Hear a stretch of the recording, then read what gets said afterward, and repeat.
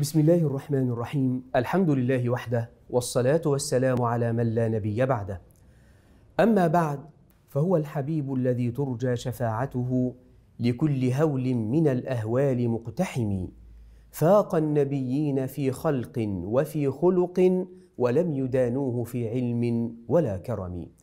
سيدنا رسول الله صلى الله عليه وسلم أخذ هذا الوصف المنير بمقاييس ربنا سبحانه وتعالى حين قال عز وجل وإنك لعلى خلق عظيم ودائما نؤكد إذا جاء الوصف من الله إذا جاء التقييم من الله فلا تشغل عقلك كثيرا في استدعاء كيفية هذا الوصف أو كيفية هذا التقييم لأنه لا تقييم بعد تقييم ربنا ولا وصف بعد وصف الله عز وجل. فحين يقول الله عز وجل مخاطبا سيدنا رسول الله صلى الله عليه وسلم وإنك لعلى خلق عظيم فليس المقصود بالخلق هنا الخلق المتعارف بيننا لا. رسول الله تجاوز هذه المرحلة فأصبح هو صاحب الخلق العظيم بتقييم الله العظيم فلا تقييم بعد تقييم ربنا سبحانه وتعالى.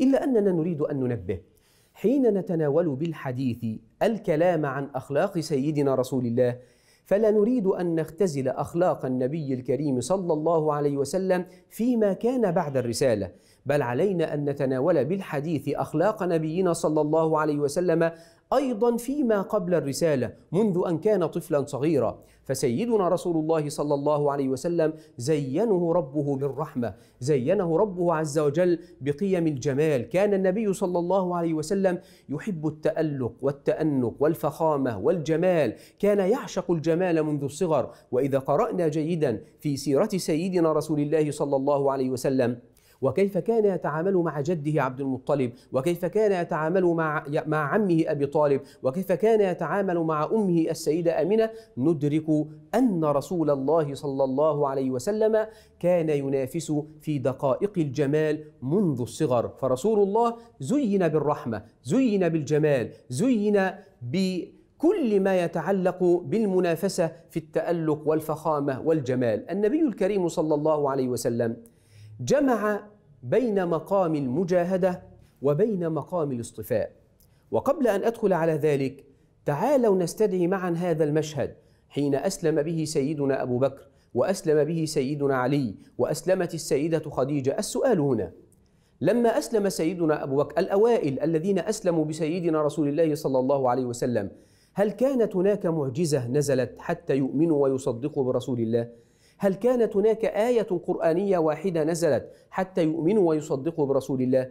هل كان هناك تشريع نزل حتى يؤمنوا ويصدقوا برسول الله؟ لا، بل إنهم أسلموا وصدقوا برسول الله صلى الله عليه وسلم بناء على الخلفية التي يعرفونها عن رسول الله سابقة، في القرآن الكريم يقول ربنا: لقد جاءكم رسول من أنفسكم أي أنتم تعلمون ماضية أنتم تعلمون طفولته تعلمون شبابه. فإذا ما عرفتم عنه سابقا فاعرفوه مستقبلا. كأن الأقدار تمهد للأقدار. لقد جاءكم رسول من أنفسكم هذا قبل الرسالة. فإذا جاء النبي كرسول فعليكم هنا أن تتعرفوا على مستقبل رسول الله من خلال ماضي رسول الله صلى الله عليه وسلم. ولذلك أول الألقاب التي أخذها النبي صلى الله عليه وسلم كانت من المشركين قبل الرسالة. فلقبوا رسول الله بالصادق الأمين. كان كثير الصدق كان أمينا صلى الله عليه وسلم. لما أسلم أبو بكر قال إن كان قال ذلك فقد صدق.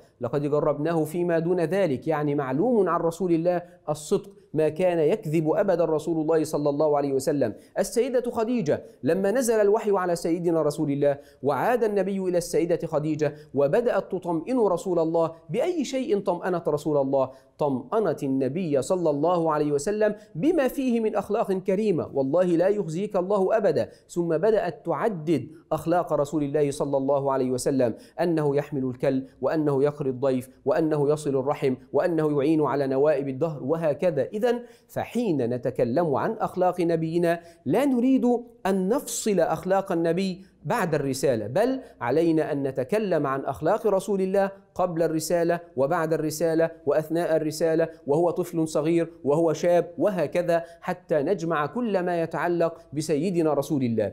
جمع النبي الكريم بين مقام الاصطفاء ومقام المجاهدة وهذا ندركه في هذين الاسمين. محمد وأحمد. فمحمد هو مقام الاصطفاء. محمد ذات وقع عليها الثناء من غيرها وقع عليها المحامد من غيرها. محمد مثل مكرم. المكرم وقع عليه التكريم من غيره لم يقم هو بتكريم نفسه. ولما كان الثناء كثيرا على سيدنا رسول الله وكانت المحامد كثيرة على سيدنا رسول الله أصبح محمدا. لأن الثناء لو كان مرة أو مرتين أو عددا قليلا لكان محمودا. ولكن كان الاسم هنا بصيغة المبالغة. محمد لكثرة الثناءات والمحامد التي وقعت على سيدنا رسول الله. هذا مقام الاصطفاء. أما مقام المجاهدة فأحمد.